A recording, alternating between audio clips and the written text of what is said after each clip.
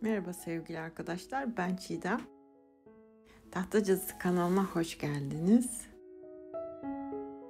Şu an görmekte olduğunuz daha önceden yaptığım rölyeflerden bir tanesi ve bu e, rölyefle ilgili ferforjeleri nasıl yaptığım çok sorulmuştu. Ben de bu projede ferforjenin özellikle ferforjenin nasıl yapıldığını sizlere göstermek istedim. Birkaç teknik daha göreceğiz farklı. Bu bir rölef olmayacak. Bir maket olacak. Bir e, dış mekan maketi diyebiliriz. Kapı maketi. E, dış, dış mekan, kapı ünü temalı bir e, video olacak. Bu maketin e, duvarlarını yapmak için strafor kullandım arkadaşlar. Ve e, 2 milimlik mukavva.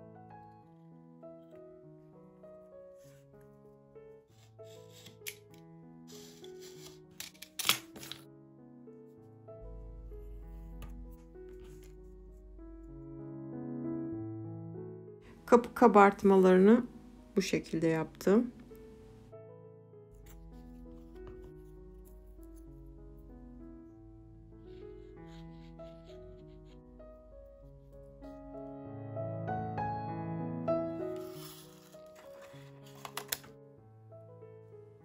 Daha önceki videolarda da kapı maketi yapmıştık iki tane videomuzda. O yüzden ayrıntıya çok girmiyorum. Şu an rölyef pasta sürüyorum. Kartondan hazırladığım kapıya. Ve strafor panelimi küpük tahta da deniyor. Çevirisi düzgün olsun diye. E, taş taş deseni çiziyorum arkadaşlar. Bastırarak kalem ucuyla doku yapmaya çalışıyorum. Aynı şekilde bu e, kırık taş doku tuğla dokusu olarak da kullanabilirsiniz.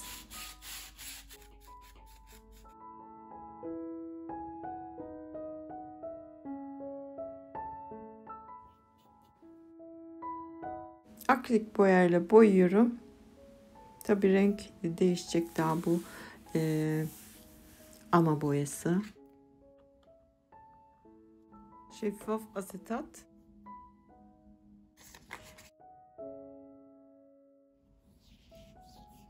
Ve bir esnek karton atık karton böyle e, giysilerden falan çıkan kartonlar uygun oluyor.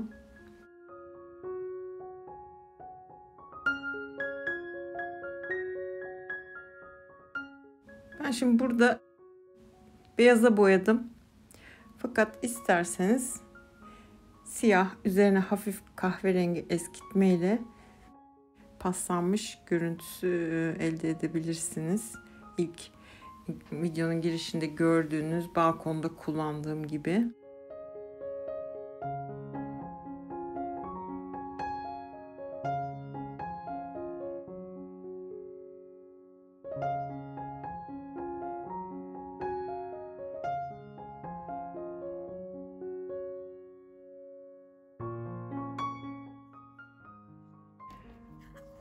Buzlu cam oluşturmaya çalışacağım şimdi.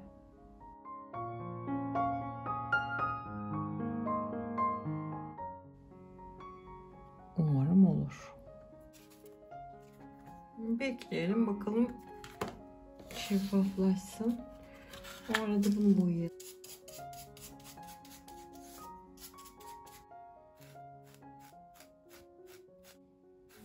Yüzeysel boyamalar ve taş kırık taşların aralarını doldurmak için sulandırılmış siyah kullandım. Hafif gümüşle ıı, güzelleştirmeye çalıştım ferforjenimi ama gümüş boyam çok kötü. O yüzden bir sonuç elde edemedim. Neyse öyle kal. Stencil şablon ve beton efekti. Bu tekniği de ahşap boyamada kullanabilirsiniz. O yüzden e, gösterdim. Normalde straforu aynı şekilde kalemle çizerek tuğla şekline de sokabilirdim. Fakat farklı bir teknik göstermiş olmak adına bu şekilde yaptım duvara.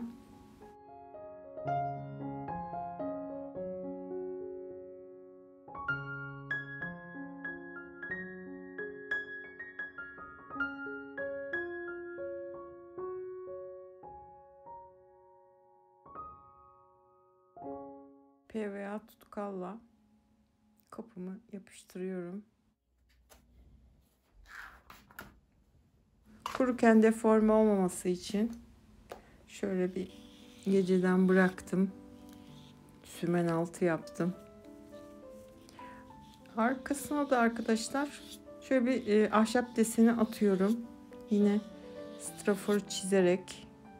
Bu da e, kısacık geçtim ama pek çok şeyde kullanabilirsiniz bunu da. Hepinizi straforcu yapacağım arkadaşlar böyle giderse. Ben de tahta cadısı olarak başladım. Strafor cadısına döndüm. Çünkü kesimi daha kolay olduğu için. Köpük tahta diyeyim şuna. Ay yanlış çeviriyor Google. Köpük tahta arkadaşlar. Strafor demeyeyim. Bu şekilde bir arka parçası içinde. Yapıştırmak için genelde tutkal kullanıyorum. Sıcak silikon da kullanıyorum ama tutkal tabi e, daha çok birbirine bağlıyor. Tutkal hemen kurumadığı için iğnelerle takviye yapıyorum. Gerekli durumlarda.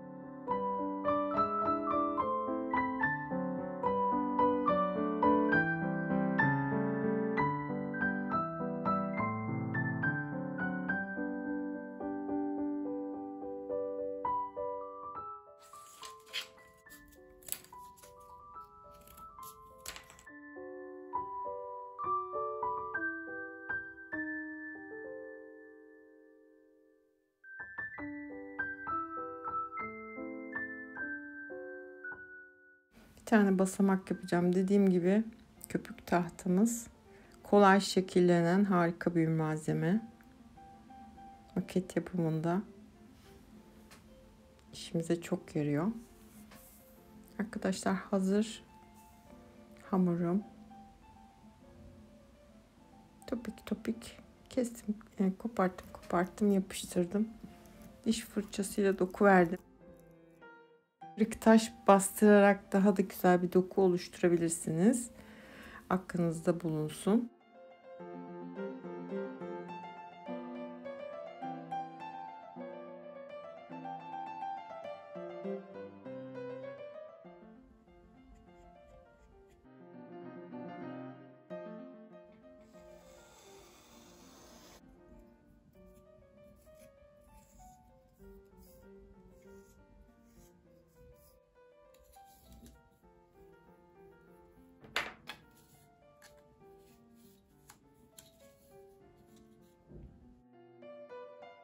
Boyadığımız zaman zaten sertleşiyor.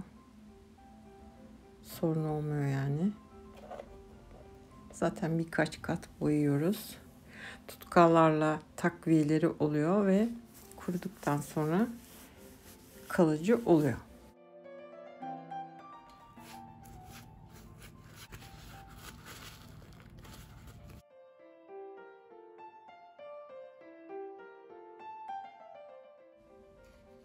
Boyama yaparken fırçalarımı çok iyi yıkamıyorum. Tamamen tertemiz fırçalarla değil. Hafifçe boyaları birbirine karıştırarak çalışıyorum. Hem su parasından tasarruf oluyor arkadaşlar. Hem de yaptığım objede renkler birbirine karışıyor. Yani e, hafif de olsa hissediyorsunuz onu. Arkadaşlar toprakla e, taşların arasını dolduruyorum. Saksıdan aldım. Bastırarak kurumaya bıraktım.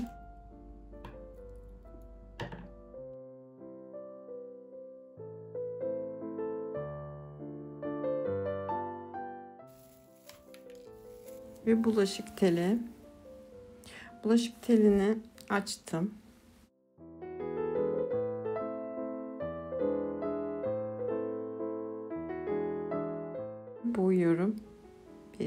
Kat.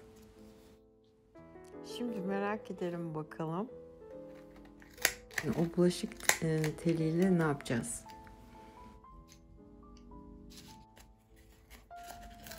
Boyanmış rulo peçeteler.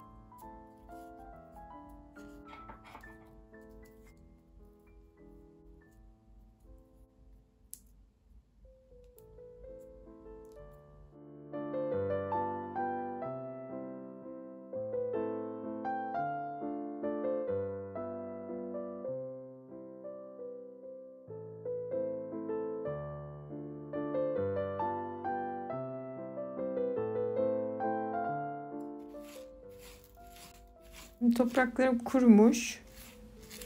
Temizliyorum. Daha da temizliyorum.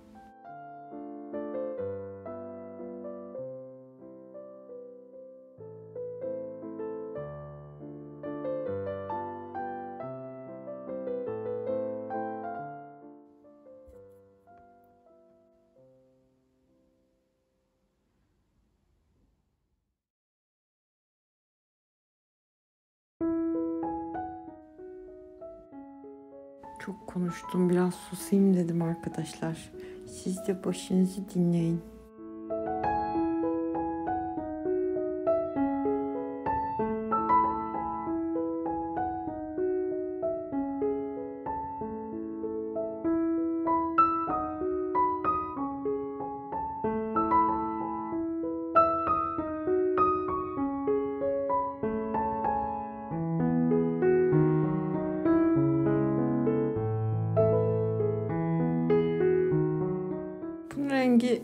Yaptığım duvarın içinde kayboldu gitti. Biraz daha belirginleştirmek istiyorum. Biraz daha tatlı bir görünüm vermek istiyorum.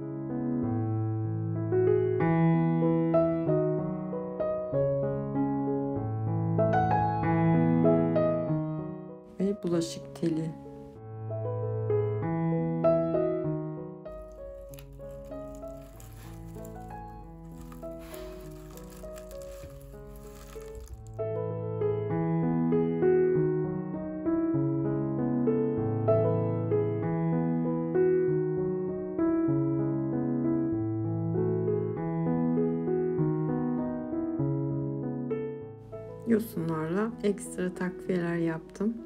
Liken yosun. Bunu da Google bilmiyor. Yanlış çeviriyor.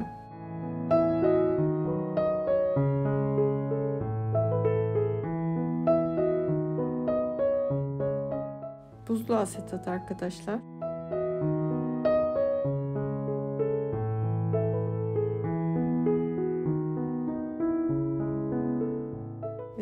Parçası yapıştırdım ışık olarak. Bir parça kağıttan basit e, kapı kolu yaptım. Bu şekilde üstten boyadım tabi. Arkadaşlar bu glaze boyanın geç kurumasını ve şeffaflaşmasını sağlıyor. Bununla biraz daha e, kapıyı ortaya çıkarmak için bazı yerlere gölgeler oluşturacağım.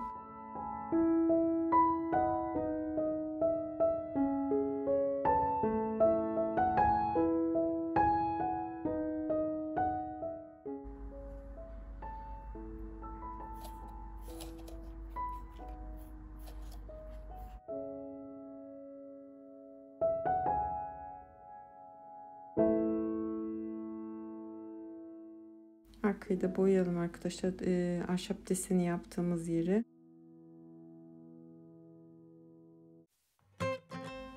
Ve bitti arkadaşlar. Maket maket dioramamız bitti. Kapı önü temalı maket diorama.